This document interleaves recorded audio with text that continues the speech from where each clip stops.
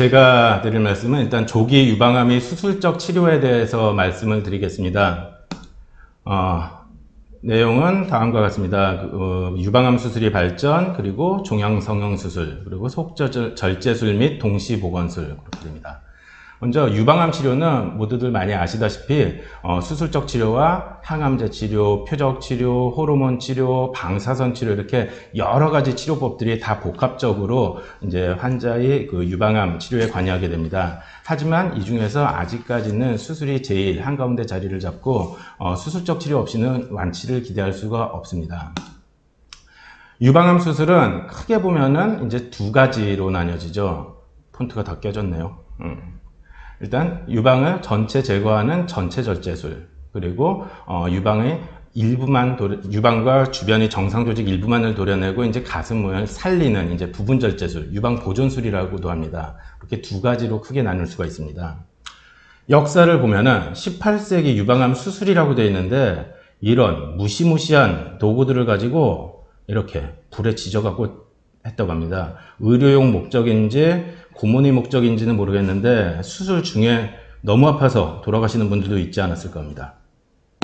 그러다가 이제 현대적 유방암 수술이 저는 이제 1894년에 미국의 유명한 외과 의사인 그 할스테드 선생님께서 근치적 유방절제술이라고 시행을 하셨습니다. 이때 요즘에 하는 이제 유방 전체 절제술하고 비슷하기는 한데 다른 거는 이 이제 가슴에 대흉근이라고 있죠. 우리 갑바 그것까지 그냥 같이 제거를 확 해버려 갖고 수술하고 나면 이렇게 앙상하게 갈비뼈가 드러날 정도로 이제 보이게 되는 그런 수술이었죠. 그렇게 하다가 이제 1950년 가까워져 갖고 이제 대흉근을 남기고 위에 유방과 겨드랑이 림프절 쪽만 수술하게 되는 이제 그 근치적 유방 절제술을 좀 변형시켜서 변형 근치적 유방 절제술이라고 해서 수술을 했습니다. 그러면 이렇게 아까 거보다 좀 나은 것 같죠? 기억이 잘 안 날 테니까 같이 비교해 보면 이렇습니다. 이 환자분은 시간차를 두고서 이제 수술을 이쪽이 더 옛날에 유방암 걸려서 수술을 받아서 근치적 유방절제술을 받은 쪽이고 이쪽에 나중에 걸려서 변형 근치적 유방절제술을 받은 사진입니다. 보면은 좀 그래도 차이가 많이 나죠. 이쪽 어깨 밑에 쪽 보고 하면요. 그러다가 이제 1981년도에 들어서서 이제 유방을 꼭 다 드러내야 되냐 꼭 일부만 도려내고 살리면 안 되냐 그런 이제 수술이 이제 시도되게 되었고 그래서 종양과 주변의 정상 조직 일부만을 제거하는 이제 부분 절제술 유방 보존술이 시행을 되게 됐습니다. 쭉 하다가 이제 1990년대 중반에 이제, 이제 최종 결과가 나왔는데 보면은 이, 이 빨간 게 유방 전체 절제술이고 파란 게 이제 부분 절제술인데 치료 성적이 이런 그래프 뭐 보시기 어렵겠지만 그냥 두 개가 완전 겹쳐 있잖아요. 치료 성적이 그냥 똑같다 보면 됩니다. 그래서 이때부터는 이제 유방 부분 절제술도 이제 표준 치료로 이제 널리 세계적으로 이제 시행이 되게 되었고 그래서 보면 이제 우리나라도 점차 이 빨간색이 유방 부분 절제술인데 부분 절제술이 퍼센트지가 계속 올라가게 돼서 현재는 전체 유방암 환자의 약 3분의 2 정도가 어, 전체 절제술이 아니고 유방 부분 절제술로 유방암을 치료하고 있습니다. 이제 겨드랑이 쪽 림프절 절제술에 대해서 알아보겠습니다. 겨드랑이 림프절은 유방암이 가장 먼저 전이되는 곳인데 이거는 우리가 이제 어디 전, 전이 된 유방암이다 뭐 그런 거 그런 이제 전신전이하고는 다르고요. 수술 시에 이 림프절은 함께 다 제거가 가능합니다. 예전에는 모든 유방암 수술 환자에 있어서 겨드랑이 림프절 절제술을 일괄적으로 다 시행을 했었습니다. 근데 그러면 뭐가 문제냐? 우리 유방암 환우들이 제일 무서워하는 림프 부종. 팔이 이렇게 코끼리 같은 사람 팔이죠. 근데 코끼리 다리처럼 되죠. 겨드랑이 림프절 절제술 시행은 이제 약 10에서 30%에서 발생하는데 이렇게 보기 흉한 것 뿐만 아니라 되게 이제 아프기도 하고 막 두꺼워지고 힘도 감소하고 무겁고 어디 나가기도 창피해서 싫고 굉장히 고통을 겪게 됩니다. 그런데 생각을 해보면은 이런 생각을 하게 됐습니다. 모든 유방암 환자에 있어서 겨드랑이 림프절 절제술이 꼭 필요한 걸까?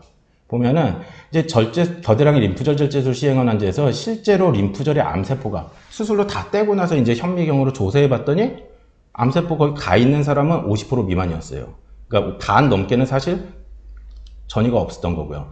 그 다음에 겨드랑이 림프절 절제술 시행하지 않았을 경우에도 그 림프절에서 재발할 확률은 10% 미만이었고 그리고 이거 추가적으로 이렇게 수술해서 얻게 되는 생존율 향상이 한 5% 정도밖에 안 되고 그러니까 이제 자연스럽게 드는, 드는 의문이 모든 유방암 환자에서 이 겨드랑이 림프절 절제술을 다 꼭 해야 되냐? 좀 일부는 생략할 수 있지 않을까? 그런 이제 궁금증이 됐죠.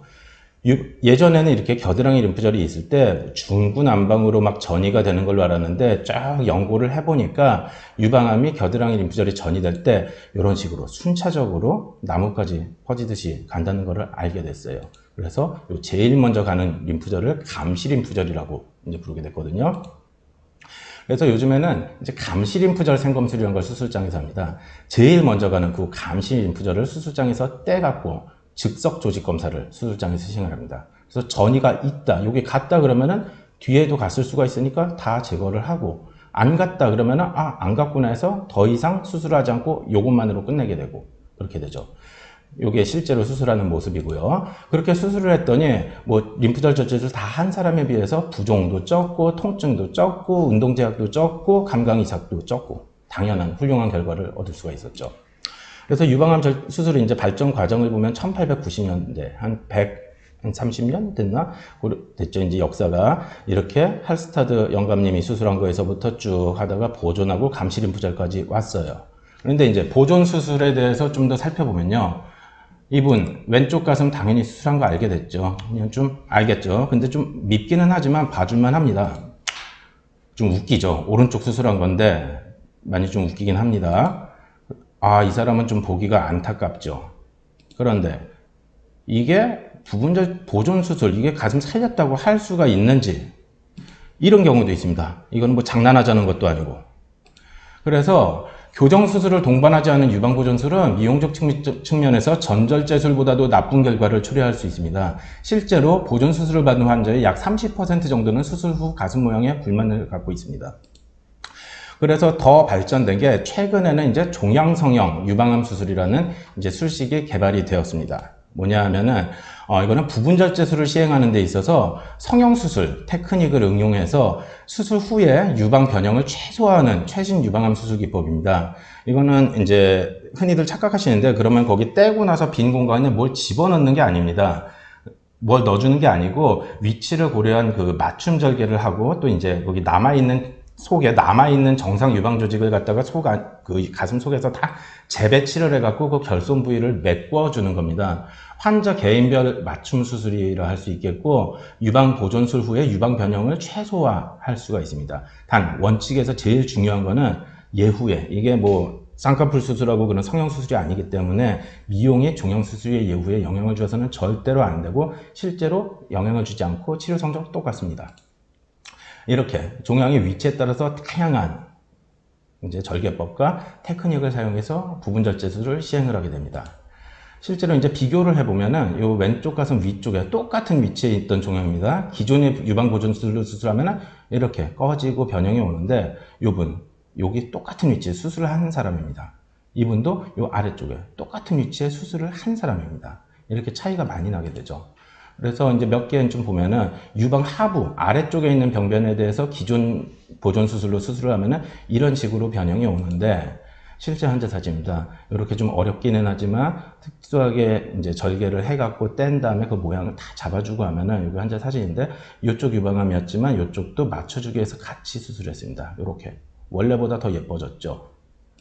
그리고 이제 요 안쪽 아래쪽에 있는 데도 수술하면 이런 식으로 변형이 오는데 그런 때는 또 이렇게 떼고선 이렇게 해서 이거를 쭉 돌려주고 유도 위치도 바로 잡아주고 하면은 요거는 약간 작아진 거 보면 요쪽이 수술을 한 쪽이죠. 그런데 모양은 아주 훌륭하게 유지됨을 볼 수 있습니다. 뭐 아래쪽 바깥쪽의 병변도 이런 식으로 수술을 하면은 이렇게 모양이 그 흐트러짐 없이 수술을 예쁘게 잘 할 수가 있고요. 또 이런 바깥쪽 병변은 이런 식으로 좀 어, 근사하게 수술을 하기도 합니다. 이렇게 하고 유륜 근처에 있을 때는 또요 유륜 근처를 갖다가 이렇게 째서 한 다음에 떼고선 그걸 갖다 유륜 쪽을 다시 잡아줘 갖고 수술을 하는데 이거 다 수술한 환자들입니다. 어느 쪽인지 알 수도 없겠죠. 요쪽이 수술한 쪽이고 요쪽이 수술한 쪽입니다. 그런데 보면은 이제 광범위 병변, 이제 상피내암, 연기암인 경우가 이런 경우가 좀 많죠. 그러니까 약하긴 한데 이렇게 쫙 퍼져 있어서 어디를 뭐 살리고 자시고 할 정 수가 없죠. 그럴 때는 옛날에는 당연히 전절제술이 대상이 됩니다. 이런 경우죠. 뭐 어떻게 살릴 수가 없죠. 그랬는데 이런 게 생각해 보면은 이제 우리 수박 반 잘라갖고 껍데기 남기고 빨간데 파먹는다 생각하면 됩니다. 그러니까 이제 피부하고 유두 그런 거 그대로 남기고 알맹이만 쏙 뽑아냅니다. 그게 유두보존 유방절제술. 저는 사실 이게 공식 용어는 아닌데 환자분들이 이렇게 말해 말씀드리면 제 이해가 편해서 속절제술이라고 저는 표현을 하는데요. 이렇게 수술합니다. 그리고 여기를 빠진 공간을 딴 걸로 채워줍니다.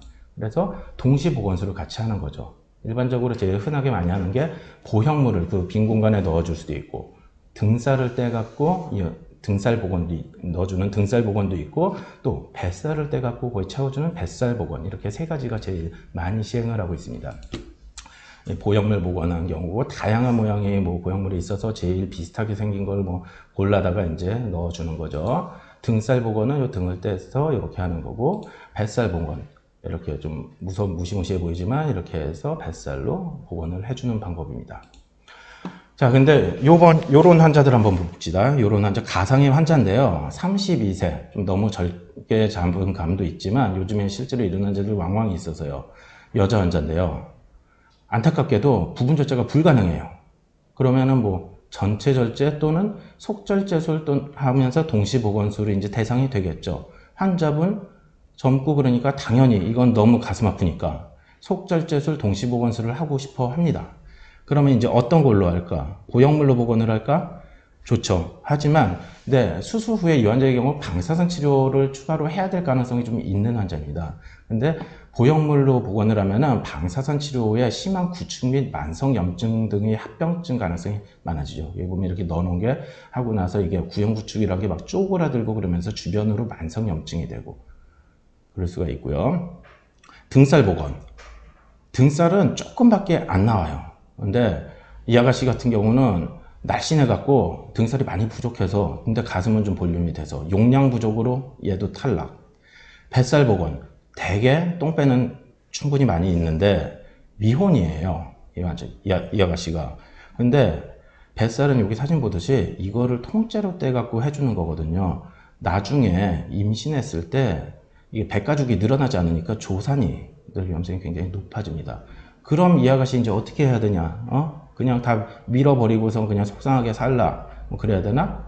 그래서 저는 요즘에 이런 거를 또 좀 하고 있습니다. 그 많이 흔히 알려진 수술은 아닌데요. 이제 뱃속에 보면은 이렇게 잘 알려지지 않는 대망이라고 하면 내장 지방이 이렇게 위에 붙어서 이렇게 앞치마처럼 늘어져 있는 게 있거든요. 요거를 이용하는 보건술도 있습니다. 어떻게 하냐? 밑으로 째갖고 옆으로 째거나 해서 속을 싹 빼냅니다. 그리고 배꼽에 구멍 하나를 뚫고 복강경으로 이렇게 그 대망을 갖다 이렇게 채취를 한 다음에 요 밑으로 터널을 뚫어갖고 그게 채워줍니다. 그러고선 이제 해주는 거죠. 이런 경우 같은 경우는 요 수술한 환자 뭐좀 제가 자랑하려고 몇 개 사진을 보 여드리는데 이제 보면은 잘 모르겠죠. 저도 봐야지 이제 기억이 납니다. 왼쪽 가슴 수술을 한 것입니다. 수술을 하고 옆에서 봐도 거의 반대쪽하고 그 다음에 아까 보셨듯이 여기 내장 지방이기 때문에 이게 피, 그 혈액 공급도 굉장히 풍부하고 이렇게 딱 봐도 그냥 넣었을 때 가슴하고 거의 이제 촉감이라든지 그런 게 비슷하리란 거를 유추하고 할 수 있죠. 실제로 그렇습니다. 거의 차이가 없게 되고요. 이런 환자도, 이 환자는 오른쪽을 수술을 했네요. 수술 후 역시 6개월 뒤인데 거의 차이가 없게 이런 식으로 되죠. 이렇게 가슴이 또는 좀 작아서 밑에 절개한 흉터가 좀 보이지만 오른쪽 수술한 환자고요. 이 환자도 왼쪽 수술했는데 어, 이 환자는 가슴 작은데도 왜 안 보이냐? 이거 옆으로 쨌죠. 보이지 말라고. 그렇게 했었습니다. 그래서 이제 결론은 조기 유방암의 수술적 치료. 오늘 강의의 결론은 그겁니다. 전체 유방암 환자의 약 3분의 2는 유방 보존술을 통해서 유방의 상실 없이 유방암을 치료받을 수 있습니다. 또한 최신 유방암 수술 기법인 종양성형 유방암 수술을 통해서 기존의 유방 보존술로 인한 유방 모양의 변형을 최소화할 수가 있습니다. 또한 병변이 벌미가 넓거나 다발성으로 발생해서 유방 보존술이 불가능한 경우에도 속절제술과 함께 다양한 방법의 동시보건술을 시행함으로써 유방의 상실이라는 아픔 없이 유방암 수술을 받을 수 있습니다. 네, 경청해 주셔서 감사합니다.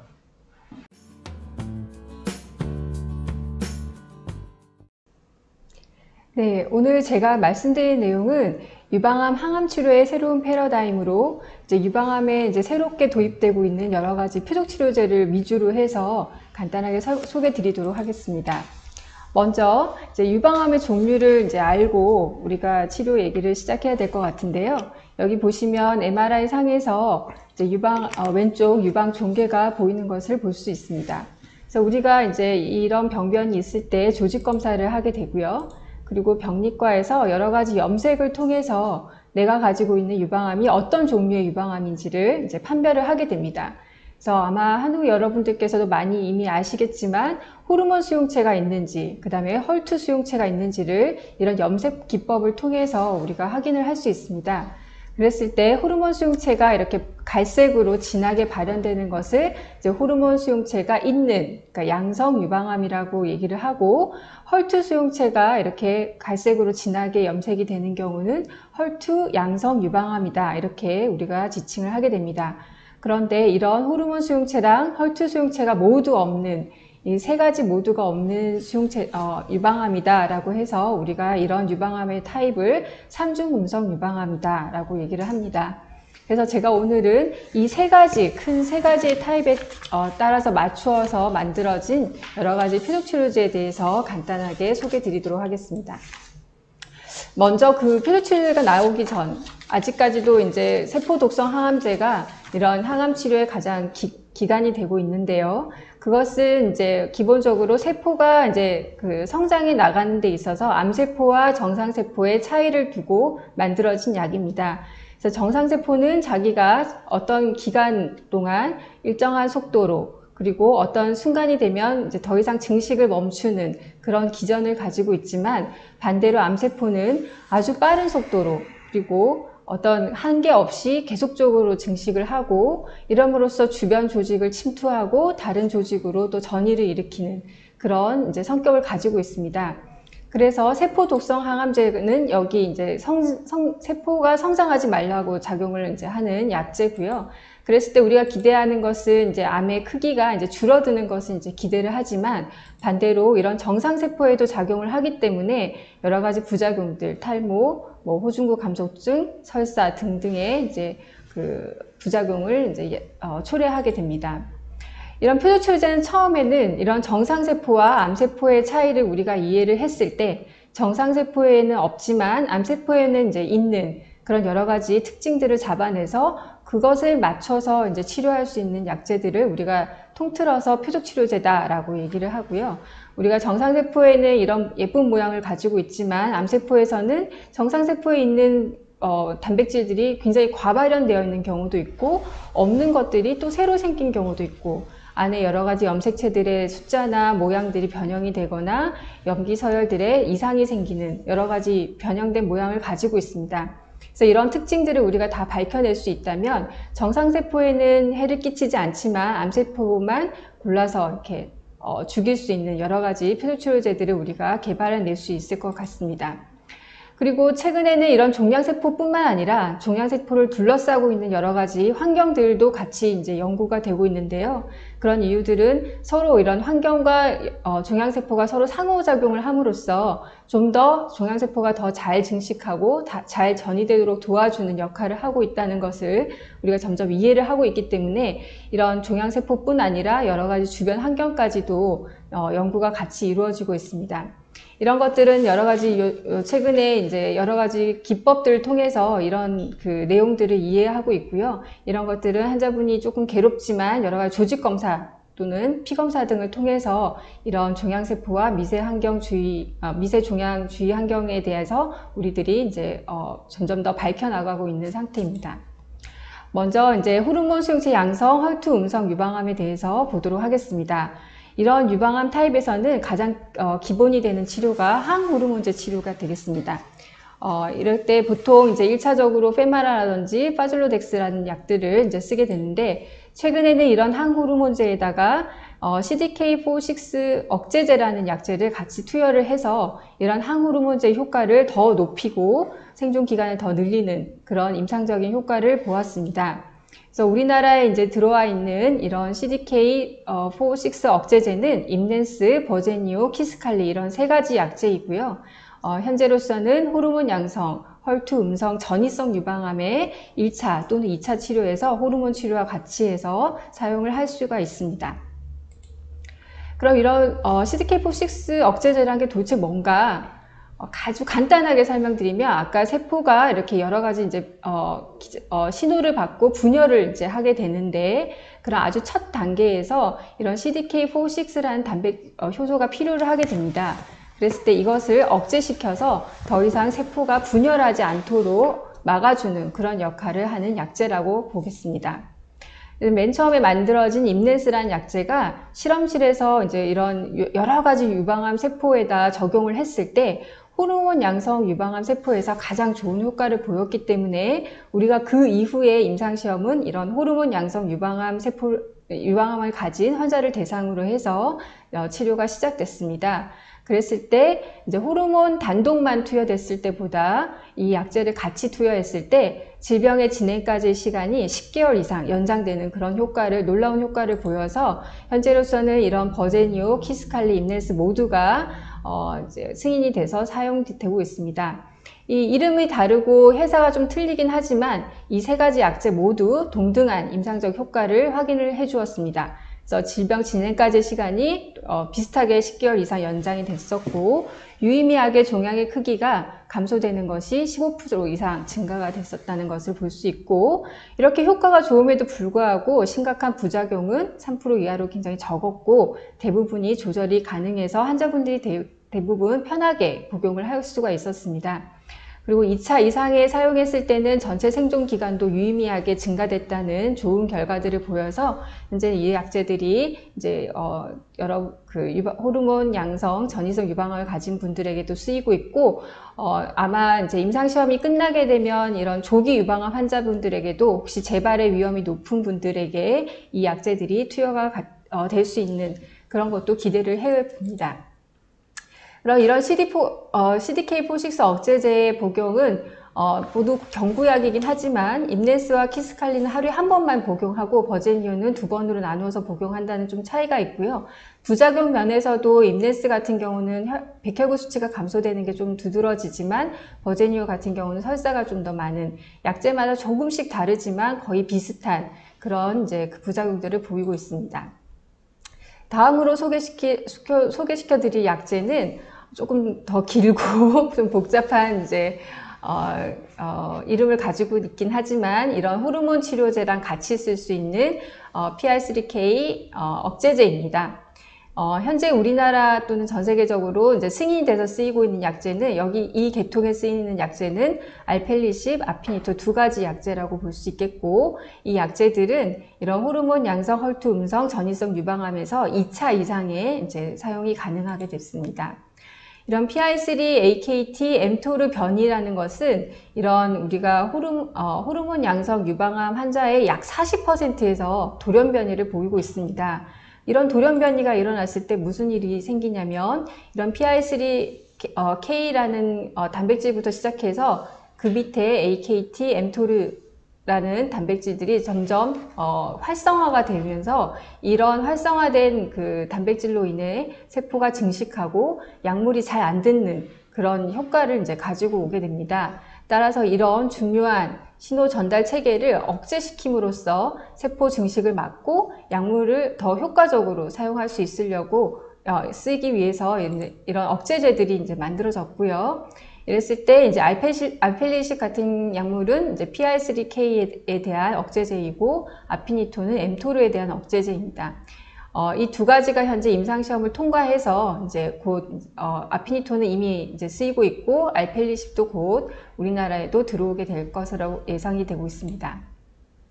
이런 이제 PI3K 유전자 변이가 있는 환자들에 있어서는 알펠리십의 효과가 이제 파즐로덱스라는 어, 항호르몬제랑 같이 투여했을 때 질병 진행까지의 시간을 두 배 이상 이제 늘려줬기 때문에 어, 2차 이상에서 이런 약제와 같이 쓰는 것이 효과적이겠다라고 보고 승인이 된 약제입니다. 하지만 좀 어, 우리가 염려가 되는 부작용도 없지 않은데요. 특히나 이제 가장 많은 것이 혈당이 굉장히 높아지고 특히 당뇨가 있는 분들은 당뇨 조절이 잘 되다가도 이 약제가 들어가면서 자- 당뇨 조절이 잘 안 되는 그런 부작용들을 이제 보- 어, 보고가 되고 있습니다. 그 외에 뭐 구대염이라든지 설사 이런 것들도 약 10% 이내로 보고가 되고 있어서 약제를 드실 때는 반드시 어, 그 주치의 선생님과 상의하고 부작용을 체크해가면서 약제를 이제 드셔야 될 것 같습니다. 다음으로는 이제 헐투 양성 유방암으로 넘어가 보도록 하겠습니다. 이제 헐투라는 것은 세포 표면에 이렇게 나와 정상적으로 발현되어 있는 단백질이긴 한데 유방암에 있어서는 어, 이것이 과발현되어 있는 경우가 있습니다. 그랬을 때 우리가 염색체, 아, 염색을 해봤을 때 이렇게 갈색으로 진하게 염색이 되는데 이런 경우를 우리가 헐투 양성 유방암이다 라고 우리가 지칭을 하게 됩니다. 이런 헐투 양성 유방암은 굉장히 독특한 이제 유방암의 아형으로서 우리가 삼중음성보다는 좀 낫지만 어쨌든 호르몬 양성 유방암보다는 예후가 좀 나쁜 것으로 그렇게 알려져 있었습니다. 하지만 이제 이런 그 헐투 양성 유방암에 굉장히 획기적인 치료 약제가 어, 등장을 했는데 그것이 이제 헐세틴입니다. 아마 여러분 한 번쯤은 헐셉틴의 약을 이제 이름은 들어보셨을 건데 이 헐셉틴의 약은 이런 헐투를 타겟으로 해서 만들어진 최초의 표적 치료제라고 할 수 있겠습니다. 이런 헐셉틴은 이런 집게 같은 모양으로 생긴 항체입니다. 이것이 이런 헐투에 이제 붙게 되고 이 헐투가 워낙에는 혼자서 일을 할 수 없고 옆에 친구들, 수용체들과 같이 손을 잡으면서 신호 전달이 시작이 되는데 이런 손 잡는 부분을 이제 어, 이 집게 같은 것이 이렇게 딱 붙음으로써 옆- 어, 활성화가 되지 못하도록 막는 그런 약제가 되겠습니다. 그리고 다른 또 기전으로는 이렇게 헐투를 이제 붙잡고 있을 때 주변에 있는 면역 세포들이 인식을 하게 되고 이런 그 어, 헐투가 있는 부- 어, 특- 어, 헐셉틴이 붙어 있는 세포를 이제 그 어, 공격해서 세포 사멸까지 어, 끌고 가는 그런 역할도 역시 같이 하고 있습니다. 현재 임상에서는 이런 항헐투 약물들이 굉장히 많이 개발이 되고 있고 현재도 계속 임상 시험이 진행이 되고 있습니다. 이제 하지만 대표적으로 이 네 가지 약제가 이제 어, 헐투 양성 유방암 환자에서 이제 현재 쓰이고 있는데요. 아까 말씀드린 헐셉틴 약제가 있고 그 다음에 이제 헐투와 그 옆에 있는 수용체들이 서로 붙지 못하도록 또 만들어진 약제가 Perjeta라는 약제입니다. 그래서 이제 Herceptin과 Perjeta를 당- 동시에 썼을 때 훨씬 더 강력하게 헐투를 억제하는 효과가 있어서 현재 Herceptin과 Perjeta는 HER2 양성 전이성 유방암에서 1차 약제로 이제 승인이 돼서 쓰이고 있습니다. 그 다음 소개시켜드릴 이제 약제는 Kadcyla란 약제고요. 이거는 이제 어, 헐셉틴에다가 DM1이라는 굉장히 독한 항암제를 붙여놨습니다.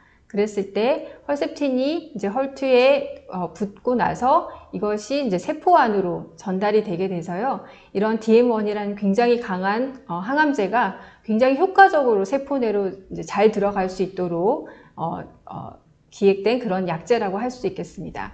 이런 약제 외에도 이런 신호 전달이 시작되는 부분들을 억제시키는 Tykerb 같은 보, 어, 보경, 어, 경구 복용약들도 이제, 이제 쓰일 수 있는 그런 이제 상태고요.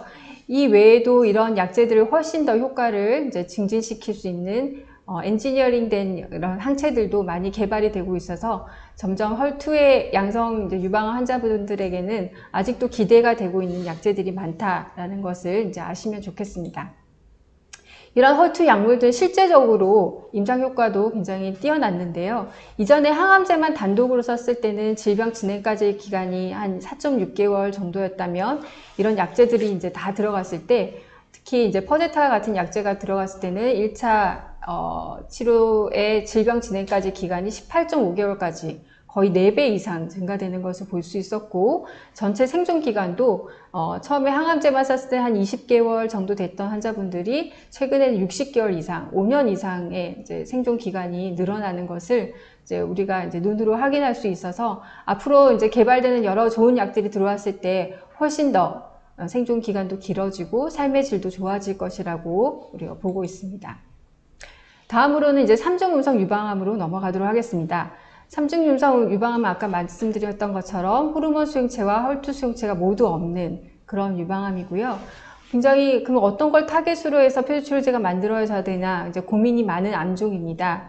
하지만 우리가 이제 유전자 검사를 했을 때 굉장히 다양한 여기도 I형이 있고 여기서도 이제 여러 가지 가능성 있는 표적들이 숨어 있다라고 생각을 하고 있고 여러 임상의들과 과학자들이 여기에 대한 표적 치료제를 만들려고 굉장히 노력 중입니다. 그 중에서 최근에 이제 그 우리가 좋은 소식을 얻은 것이 이제 면역 항암제가 되겠습니다. 이런 삼중 음성 유방암에는 여기 아주 까맣게 보이는 구름처럼 보이는 것이 이제 면역 세포가 되겠는데요. 이런 삼중 음성 유방암의 연- 면역 세포들이 이제 침투해 있는 경우가 많았습니다. 그리고 그 정도가 다른 I형에 비해서 좀 많았고 또 이런 면역 세포들이 많이 침투해 있을수록 재발도 적고 약물 반응도 우수한 것을 우리가 볼 수 있어서 이런 삼중 유- 음성 유방암의 면역 치료제가 잘 듣겠다 이렇게 기대를 했었습니다. 이런 우리가 이제 면역 항암제라고 보통 흔히 말하는 것은 실제 이름은 면역 감문 억제 항암제입니다. 그 말은 뭐냐면 우리가 이제 면역 세포가 종양 세포를 이제 어, 공격해서 죽여야 되는데 사실은 종양 세포에서 이제 그런 것을 어, 그, 그런 이제 그 면역 세포의 기능을 억제시키는 그런 신호도 가지고 있습니다. 그것이 대표적으로 PD-L1이라고 하는 건데 이것이 이제 그 어, 면역 세포의 PD-1과 이렇게 만, 만, 만나, 만나게 되면 면역 세포의 기능이 훅 떨어지게 돼서 종양 세포를 공격을 못하게 됩니다. 따라서 우리가 이, 런 억제하는 신호에 대한 여러 항체들을 만들어서 이 신호가 작용을 못하도록 이렇게 만들어진 것이 면역 감문 억제 항암제가 되겠습니다. 이것이 이제 그 투여가 됐을 때 이제 어 우리가 T 세포 독성 면역 세포가 활성화가 되고 그때서야 종양 세포를 공격해서 사멸시키는 그런 효과들을 우리가 볼 수가 있었습니다. 역시 삼중음성 유방암에서 어, 기존의 네파크리탁셀이라는 항암제랑 이런 면역 강문 억제제를 같이 투여했을 때 어, 역시 PD-L1이 많이 발현된 환자에서 효과가 좋았고 그런 환자들에 있어서 질병 진행까지의 시간이 2.5개월 증가되는 것과 전체 생존 기간도 9.5개월 증가되는 것을 우리가 확인할 수가 있었습니다. 하지만 이런 면역 감문 억제제가 어, 물론 좋은 점도 많지만 이런 부작용도 있는데요. 이런 활성화된 면역 세포들이 전체 몸을 돌아다니기 때문에 전신에 이제 부작용을 일으킬 수가 있습니다. 그래서 어, 각 기관의 염증을 일으키게 됐을 때 그 기능들이 많이 떨어지고 환자분이 이제 많이 힘들어질 수 있기 때문에 우리가 그런 증상들을 빨리 알아채고 빨리 진단을 내리고 빠른 대처를 하는 것이 이제 필수적이 되겠습니다. 다음으로는 이제 우리가 이제 브라카 유전자에 대해서 좀 더 알아보도록 하겠습니다. 아마 이제 관심이 있으신 분들은 브라카라는 얘기를 이제 많이 들어보셨을 텐데요. 우리가 브라카는 얼마 전에 그 한 유명한 미국 어, 여배우에 의해서 더 유명한 유전자가 됐죠. 이 브라카 유전자의 변이가 있을 때 우리가 어, 정상인들에 비해서 난소암이나 유방암의 발병률이 50% 내지 40% 내지 60%까지 증가되는 것을 우리가 볼 수 있었습니다. 이런 브라카 유전자는 기능이 우리 몸에 있는 염색체 DNA가 손상됐을 때 복구하는 그런 기능을 가지고 있습니다. 우리가 이제 복구하는 기능은 사실 하나만 있으면 굉장히 문제가 될 수 있겠죠. 그래서 어, 몸에 복구하는 시스템은 여러 개가 있을 수 있겠는데 DNA를 복구하는 시스템은 크게 두 가지라고 생각하면 되겠습니다.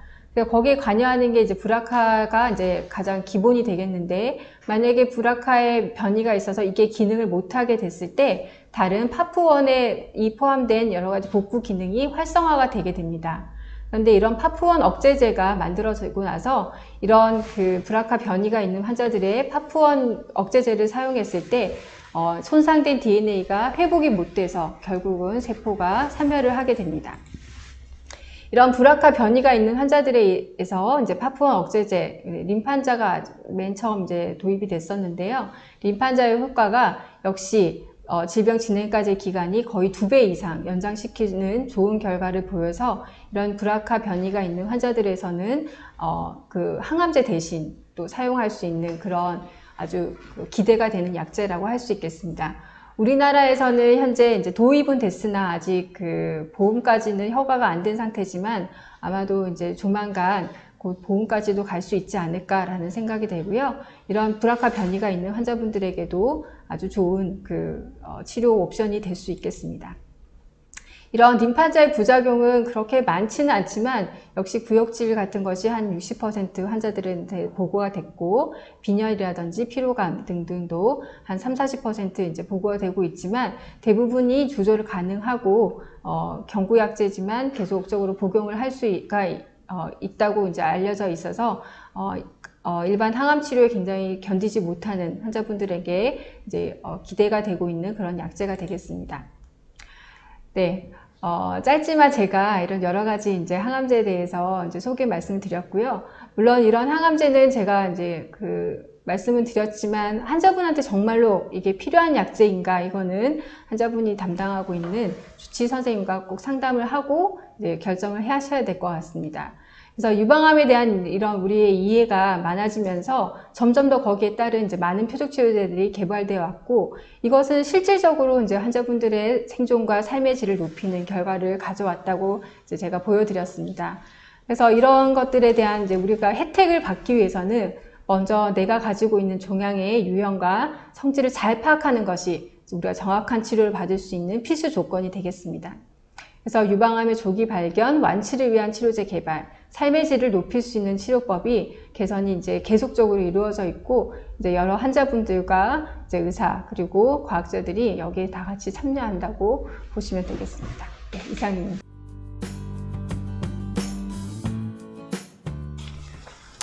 네, 저희가 사전 질문된 어, 이 질문을 받았는데요. 첫 번째 몇 가지 질문에 대해서는 제가 간단히 예, 답을 드리도록 하겠습니다. 어, 첫 번째 질문은 3년째 투병 생활 중인데요. 5년이 되면 완치라고 할 수 있나요? 아, 3년. 이게 이제 학교 학생으로 치면 유방암 환우분들 중에서는 아마 초등학생 정도 생각할 수 있겠습니다.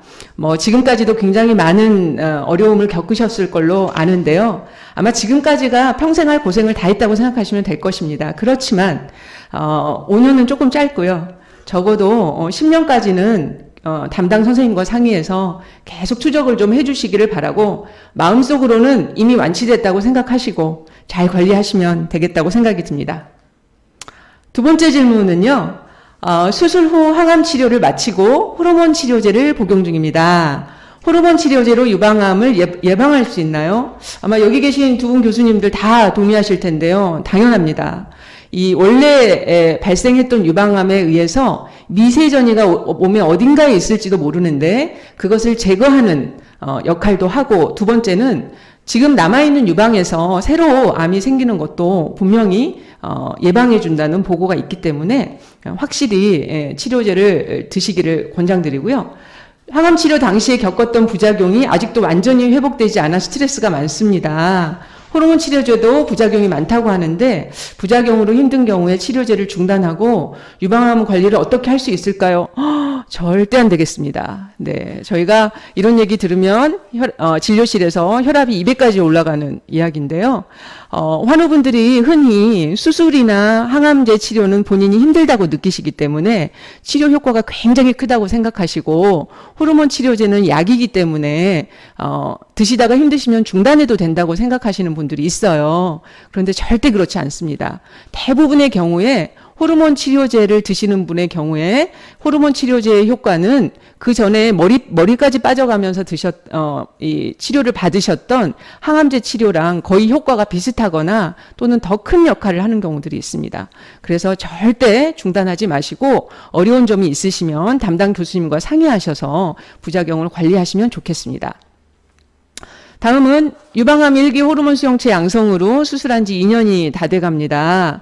평소에 아마 건강하게 드시나 봐요. 우유, 검정콩, 두부 등을 자주 먹고 있는데 괜찮은지 또 마늘 껍질, 양파물, 레몬물 논이 아유 굉장히 막 어, 열, 열심이신 분이에요. 네, 건강에 좋다는 거를 자유롭게 먹어도 괜찮은지, 특별히 조심해야 할 음식이 있는지, 여기서 뭐 짧은 시간에 다 말씀드리기는 어려운데요.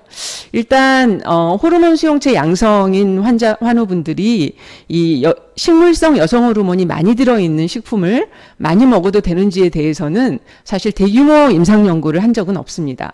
그런데 일반적으로는 이 식물성 여성 호르몬이 많이 들어있는 음식을 몰아서 많이 드시는 것은 자제하라고 권고되고 있습니다. 예를 들어서 아침에 두유 먹고 검정콩으로 된 뭐 밥을 먹고 그 다음에 청국장찌개에다가 두부를 넣어서 먹고 그러면 좀 과하다고 생각이 드는 거죠. 그래서 하루에 두유 한 컵이라든지 뭐 두부 반모 정도는 괜찮다고 생각이 들고요. 아까 말씀하신 뭐 양파물, 레몬물, 논이 같은 것들은 한꺼번에 여러 가지를 같이 어, 이렇게 그 먹는 거는 권장하지 않습니다. 건강에 좋고 일반적인 식품으로 먹는 것이라 할지라도 어, 그런 것들은 10개 해서 어, 한 번에 한 가지씩만 복용하시기를 권합니다. 그리고 조심해야 될 음식 중에 제일 나쁜 거는 어, 이 가공식품, 그 다음에 이제 햄, 소세지 예, 그런 것들이라고 말씀드릴 수 있겠습니다. 호르몬 수용체 양성 유방암 환자인데 치료하면서 탄력이 너무 떨어져서 피시 콜라겐이나 단백질 파우더를 섭취해도 되는지 하루 세 끼의 탄수화물을 꼭 챙겨 먹어도 되는지 저는 개인적으로 이것도 이제 근거가 있는 이야기는 아닌데요. 피시 콜라겐이나 단백질 파우더는 전부 다 동물성 단백질을 원료로 합니다. 그런데 그 동물들은 유기농이 아니에요. 그 안에는 호르몬이나 사료나 뭐 항생제나 이런 것들을 투입해서 이제 키우거나 그런 것들을 재료로 사용하고 있습니다. 그래서 여러분이 그런 거를 파우더로 드시면 그런 것들이 많이 농축돼 있을 가능성이 있어요. 그래서 자연식품을 드시기를 권하고요. 피쉬 콜라겐 대신에 고등어 꽁치 드세요. 네. 그리고 복 껍질도 굉장히 좋을 것 같습니다. 네. 하루 세 끼 탄수화물 꼭 안 드셔도 됩니다. 네. 네, 여기까지고요.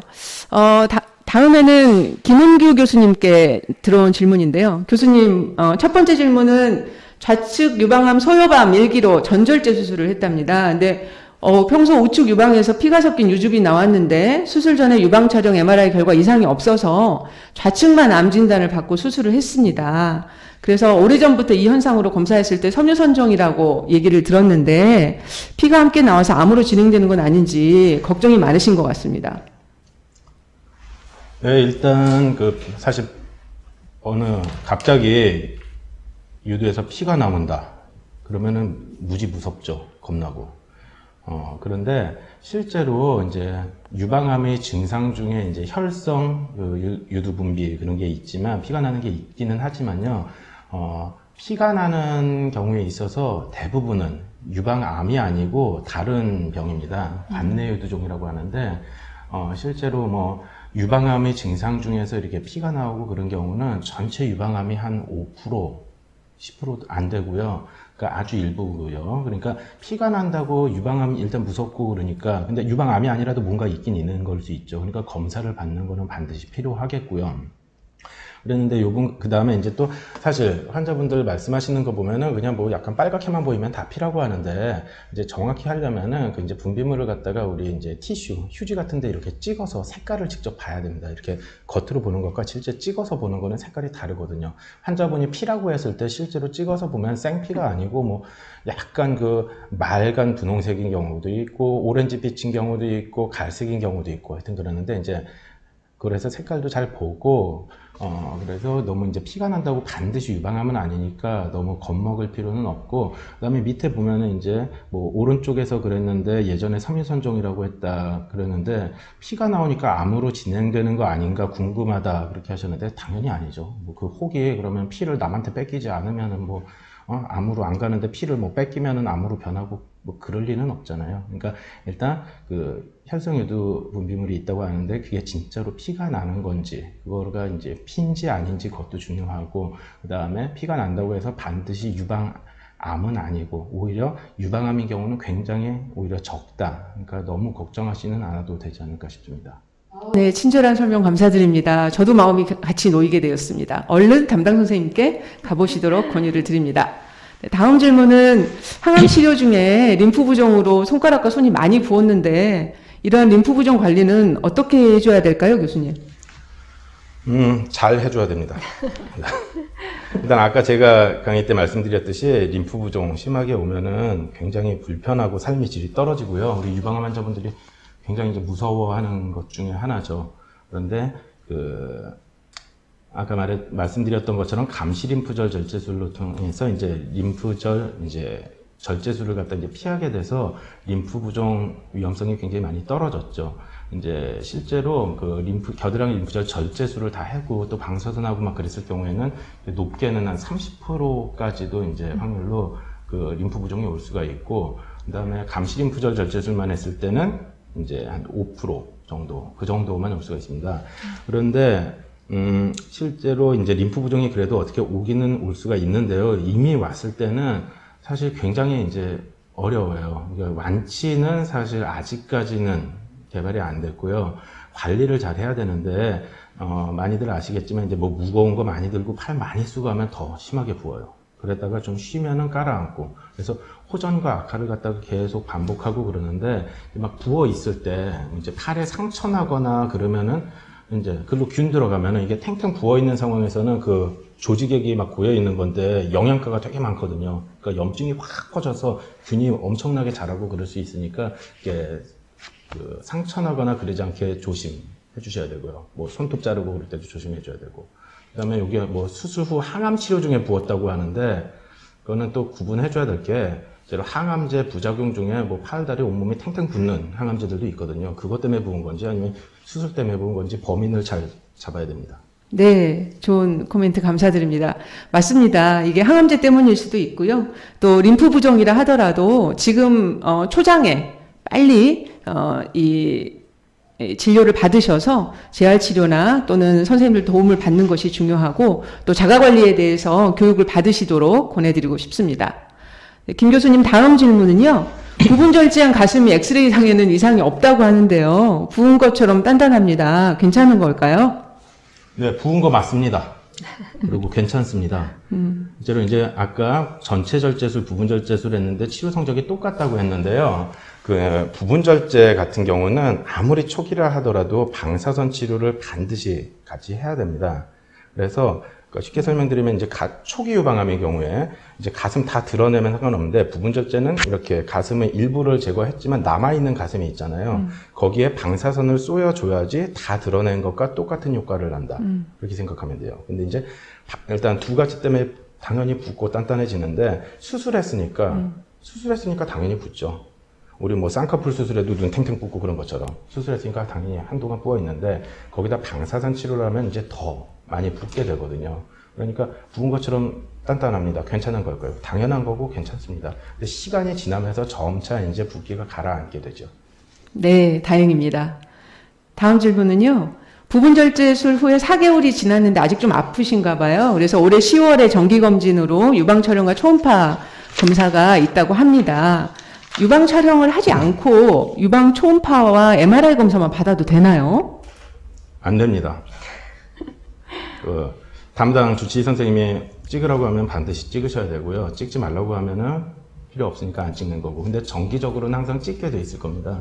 왜냐하면은 이제 사실 유방 촬영술이 많이 아프다고 그래요. 사실 저는 제가 당해본 적이 없어서 그 감당 그 짐작은 안 되지만 겁나 아프다고 그러거든요. 이게 이제 저도 생각을 해봤을 때 이렇게 뺨을 제가 꽉 꼬집으면은 아픔. 그거에 한 10배쯤 되지 않을까 싶은데요. 그래서 환자분들 가뜩이나 수술해서 아픈데 그것도 눌러서 찍으면 너무 아플 것 같아서 절레절레 하시는데 이게 사실 유방에 보면은 유방 촬영술도 있고 초음파도 있고 MRI도 있고 뭐 여러 가지 검사가 있는데 굳이 이거를 하라고 하는 거는 다 이유가 있겠죠. 그리고 다른 검사들로 다 대치가 될 수 있으면은 이 유방 촬영이란 그 아픈 검사는 뭐 이 세상에서 이제 도태돼서 없어졌어야겠죠. 하지만 아직까지 있다는 것 자체가 이것만이 중요성이 있기 때문이거든요. 예를 들면은 이제 우리 미세석회화라고 하는 거, 이제 가슴 이렇게 눌러 찍는 유방 촬영을 했을 때 그 소금 같이 이렇게 뿌려져 있는 것처럼 하얗게 보이는 건데 그런 미세석회화가 이제 유방암의 초기에 나타나는 증상의 경우들도 많은데 이런 미세석회화 같은 경우는 유방 초음파 하다못해 뭐 MRI에 하더라도 나타나지를 않거든요. 그렇기 때문에 유방 촬영을 그 주, 정, 이게 정기적으로 해주는 것이 아프시더라도 꼭 필요합니다. 그 담당 선생님들이 환자분들한테 뭐 억하 심정이 있어서 뭐 아프게 하려고 이거 찍으라고 하고 그런 건 아니거든요. 네, 교수님. 맞습니다. 네. 처방된 검사를 하지 않으시면 어, 중요한 병변을 놓칠 수 있다는 아주 좋은 말씀 해주신 것 같습니다. 네, 다음은 어, 박인혜 교수님께 들어온 질문인데요. 어, 종양의 크기가 아주 자세히 넣어주셨네요. 환자분께서 1.8cm고 감시리 부절 4개 중 1개의 전이가 있고 호르몬 수용체 양성, 헐투는 음성, 그리고 어, 키 67이 15.3%로 수술한 지 10개월 되셨답니다. 방사선 치료 후에 타목시펜과 졸라덱스 4주에 한번 치료 중인데 항암제 치- 사용하지 않아서 재발이나 전이에 대한 걱정이 많으시고 Zoladex 치료를 하면서 항암을 하지 않은 케이스가 많은지 궁금하시다고 하는데요. 네, 그 요즘은 어, 우리가 Oncotype DX라든지 MammaPrint 같은 그런 유전자 검사를 통해서 이렇게 호르몬 양성 HER2 음성 그리고 어, 종양의 크기가 2cm, 아, 종양 크기가 그렇게 크지 않, 않으면서 감시 림프절 전이가 아주 많이 가 있지 않은 3개 이하로 이제 있는 환자분들한테 이런 유전자 검사를 통해서 항암제가 필요한지 안 한지를 우리가 체크를 한 번 더 해볼 수 있는 그런 기회가 있, 생겼습니다. 그리고 그 이후로는 점점 이제 항암제를 투여받는 비율이, 비율도 똑같이 이제 줄어들고 있, 있고요. 그런 환자들에게 이제 항암제는 안 하지만 이런 항호르몬제의 효과를 높이기 위해서 타목시펜과 졸라덱스를 이제 같이 투여하는 어, 아마도 폐경 전 여성분이시기 때문에 이런 졸라덱스까지 이제 투여받고 계신 걸로 알고 있, 어, 생각이 되는데요. 어, 항암제를 안 한 이유는 아마도 그런 좋은 타입의, 그러니까 항암제의 필요성이 좀 떨어지는 라고 판단이 되셨기 때문에 아마 투여가 안 됐을 거라고 생각이 되고, 졸라덱스를 이제 항암제 대신에 투여하는 건 아니고요. 그래서, 네, 우리가 좀 더 이런 젊은 분에서 이제 항호르몬제 치료 효과를 더 높이고 재발률 줄이기 위해서 타목시펜 단독보다는 어, 졸라덱스를 같이 투여했을 때 훨씬 더 효과가 좀더 좋았기 때문에 아마 그 더 좋은 효과를 이끌어내기 위해서 같이 한다고 생각이 됩니다. 네, 감사합니다. 어, 환우분께서 걱정이 해소가 되셨을 것 같고요. 너무 걱정하지 마시고 이 치료에 집중하시고 또 이 치료로 인해서 있을 수 있는 부작용에 대, 대비해서 날마다 운동 열심히 하시기를 권해드립니다. 네, 다- 두 번째 질문은요. 호르몬 수용체 양성 유방암 1기 환자인데 타목시펜과 졸라덱스 병행 치료 앞에 환자랑 비슷하신 분이네요. 그럼 이 졸라덱스는 언제까지 투여해야 하는 걸까요?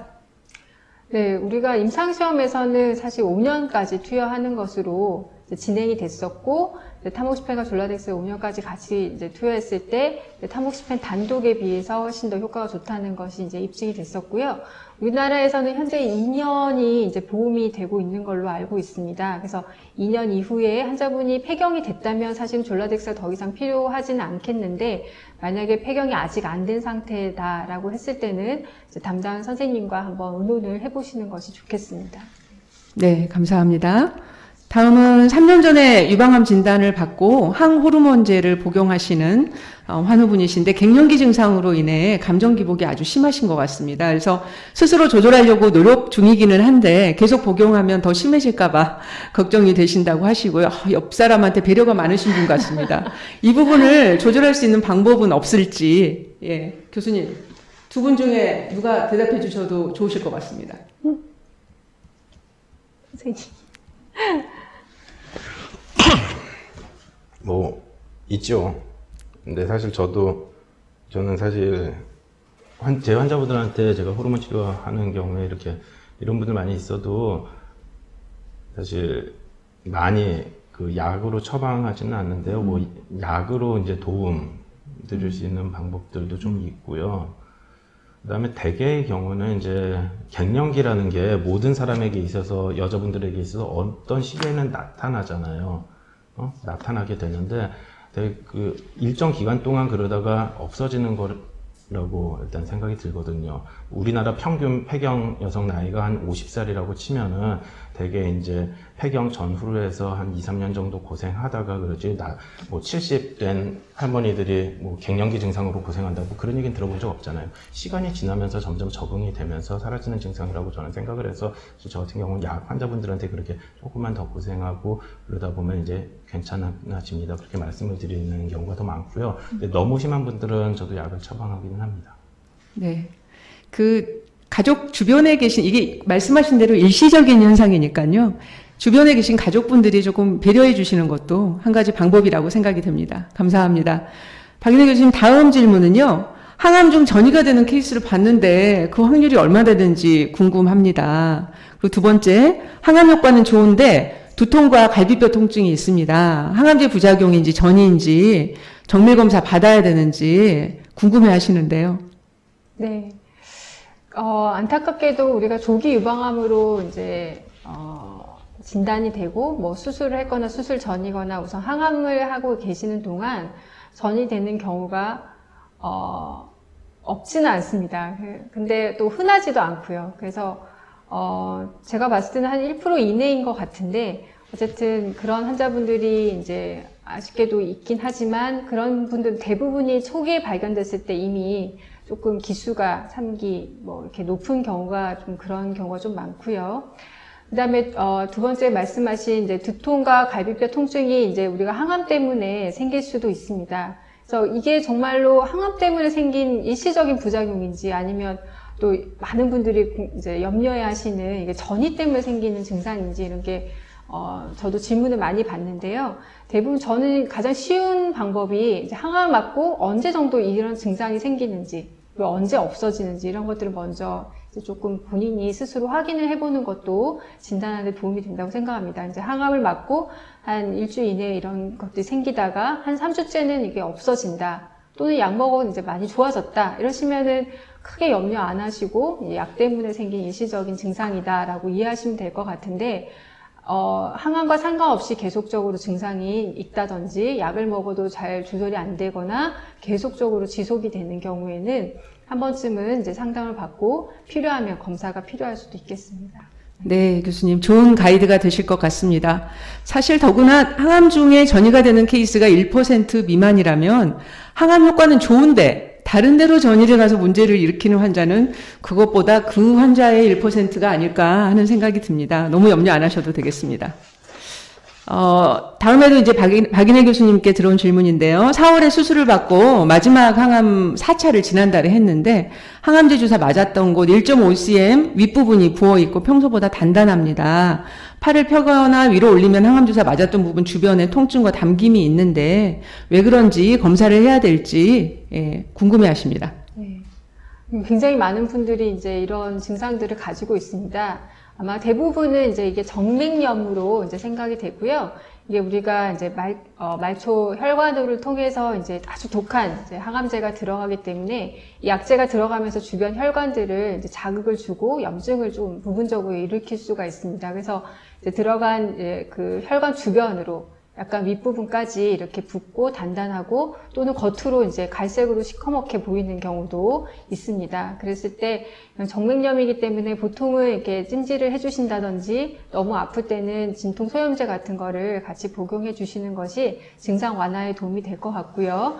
혈관이 많이 좋지 않거나 이런 거 심한 경우는 우리가 이제 케모포트라고 해서 포트를 이용해서 항암을 맞는 것도 한번 고려를 해볼 수는 있겠습니다. 그래서 이런 정맥염이 있는 경우는 아까처럼 이렇게 그 어, 보존적인 치료로 대부분은 이제 나중에 증상 완화가 되기 때문에 특별하게 더 검사를 하거나 그럴 필요는 없겠습니다. 네, 감사합니다.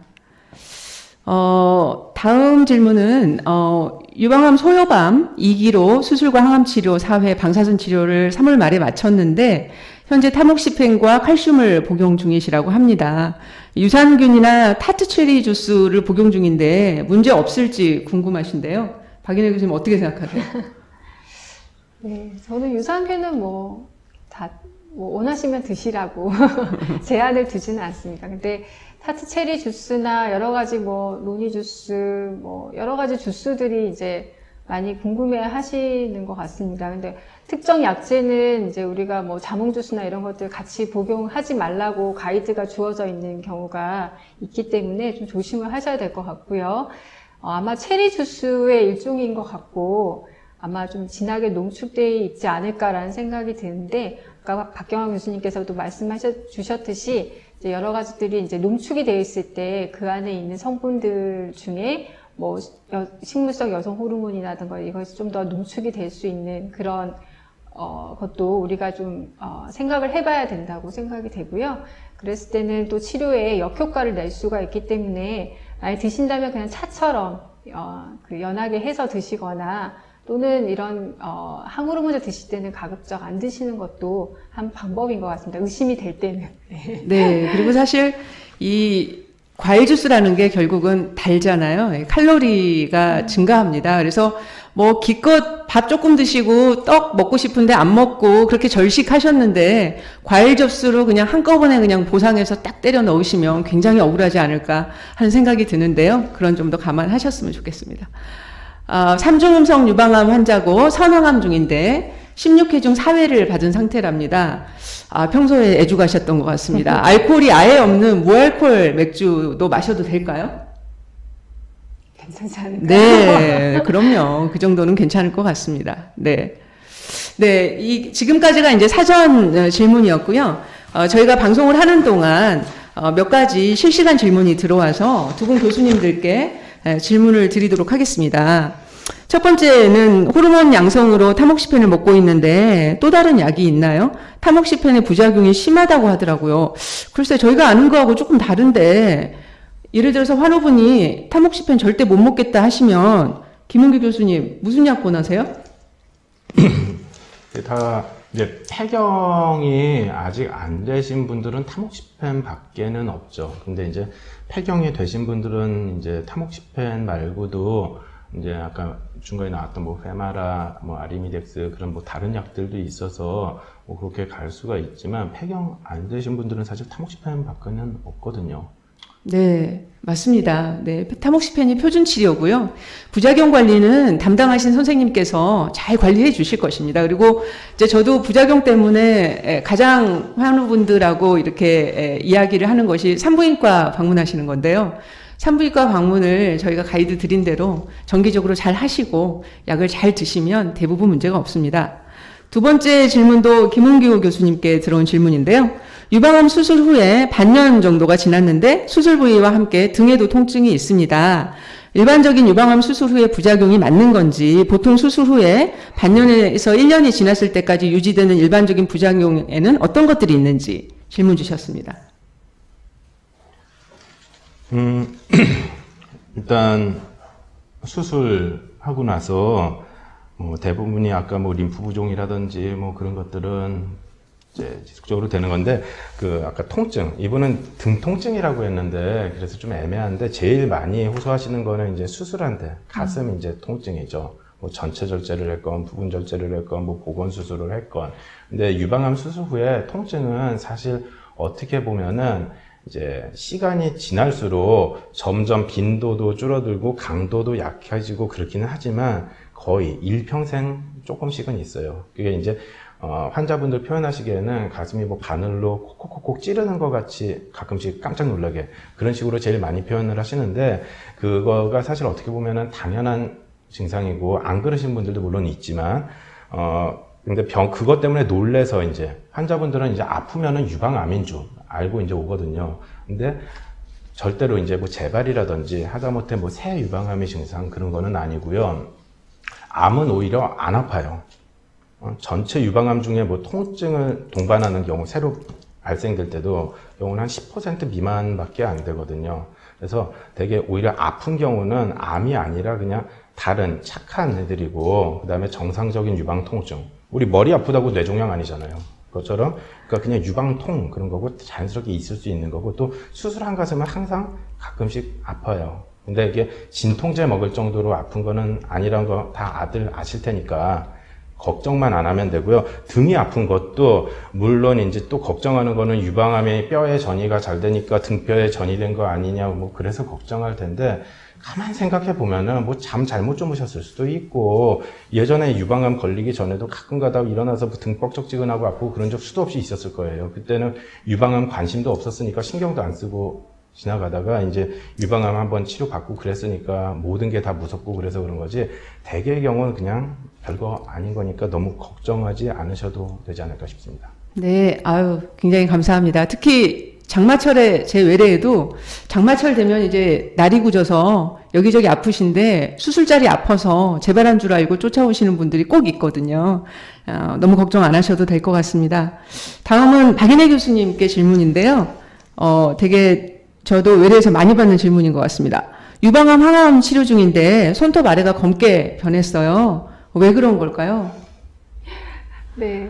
그래서 우리가 보통 이제 항암제를 사용해 됐을 때 이제 유방 아그뭐 조각 그러니까 손발톱에 변형이 오거나 심한 경우는 빠지는 경우도 이제 생깁니다. 그래서 아주 대부분은 그냥 색깔만 살짝 변하고 많은 경우가 많은데 어, 이거, 이 정도는 크게 염려는 안 하셔도 될 것 같습니다. 나중에 항암이 끝나면 이제 원래 색깔로 다시 돌아오게 되는데요. 만약에 여기서 눌렀을 때 앞, 앞통이 있다든지, 뭐, 진물이 나온다든지 이러면은 이제 손발톱이 빠질 수도 있기 때문에 그때는 이제 관리를 좀 해주시는 게 필요하겠고, 뭐, 진물이 너무 냄새가 난다든지 그러면 감염 염려도 있기 때문에 그때는 항생제도 복용이 필요하니까 담당 선생님과 상의가 필요할 수 있겠습니다. 네, 감사합니다. 다음은 제가 답을 드릴까요? 항암 치료 중에 또는 그 후에 독감 주사 등 예방 접종을 해도 상관이 없는지 벌써 이제 독감 예방 접종 특히 올해는 굉장히 관심이 큽니다. 모든 사람이 맞아야 되고 당연히 우리 암 환우분들은 다 접종 대상이신데요. 사실 항암 치료 중에는 어, 예- 어떤 예방 접종을 해도 효과가 조금 떨어진다고 알려져 있습니다. 그렇다고 안 할 수는 없죠. 그래서 항암 치료가 이제 오늘 아침에도 회진 중에 이번에 마지막 항암 치료를 하신 환우분이 저한테 저는 독감 예방 접종을 언제 해야 될까요? 그러셨어요. 그 환우분은 사실 한 3, 4주 지나도 어 10월 초 정도기 때문에 그때 하면 되죠. 10월 말 이, 이전에 하는 게 굉장히 좋기 때문에. 그런데 이제 항암 치료가 주기적으로 계속 유지되는, 겨울까지 유지되는 환우분은 어떻게 해야 되나. 그런 경우에는 대체로 원칙은 없는데요. 어, 항암 치료 후에 백혈구가 회복됐을 시점. 그렇지만 다음 항암 치료가 시작되기 전 한 일주일 전쯤에 저는 어, 투여, 투여를 접종을 하시도록 권하고 있습니다. 그래서 어, 항암 치료하고 두 주쯤 있다가 동네에서 어, 접종하시고 어, 입원하시면 항암 치료 맞으러 오시면 될 것 같습니다. 마지막 질문 역시 김은규 교수님께 질문인데요. 역시 오늘 수술에 대해서 굉장히 그 인상적인 강의를 해주셔가지고 아주 질문이 많습니다. 작년 2월에 유방암 수술을 하였고 복부 복원을 하셨습니다. 올해 6월까지는 검진상 문제가 없었는데 2주 전부터 수술한 가슴 밑부분에 속옷이 닿는 부분이 따가워서 들여다보니까 두드러기처럼 빨갛게 부어오르고 해당 증상이 나타나는 부위가 점점 커지고 있다고 합니다. 혹시 피부에 전이된 건 아닐까요? 봐야죠. 직접 보지 않으면 뭐라고 말씀드릴 수 없고, 근데 모든 의학이란 게 이제 확률이란 거죠. 그러니까 사실 피부에 전이되고 막 그럴 정도면은 사실 처음부터 무지무지 심한 유방암이었을 텐데, 그러면은 아마도 이렇게 복부 복원까지 하지를 않았을까 가능성이 더 많지 않을까 싶고요. 제가 자세히는 모르지만. 그리고 이제 복부 복원했고, 그렇게 해서 속옷 닿는 곳, 땀띠일 가능성이 제일 많지 않을까 싶습니다. 뭐 땀띠 그냥 냅두면 점점 번지고 그러죠. 네, 감사합니다. 직접 어, 수술하신 교수님을 찾아가서 상담을 해보시는 게 가장 좋고요. 아, 증상이 시작될 때나 아니면 심했을 당시에 사진을 어, 핸드폰을 이용해서 좀 촬영해서 기록해 두시면 교수님께서 판단하시기에 더 도움이 되시지 않을까 하는 생각이 듭니다. 네, 오늘까 지금까지 이제 에, 문의 주신 질문을 전부 다 교수님들께 대답을 들었습니다. 궁금하시거나 또 불안했던 내용들이 얼마나 해소가 되셨을지 모르겠어요. 오늘 제가 보기에는 아마 어, 서울역 앞에 서 또 유튜브에서 어, 랜선 유방암 클리닉을 아주 짧게 열었던 것 같습니다.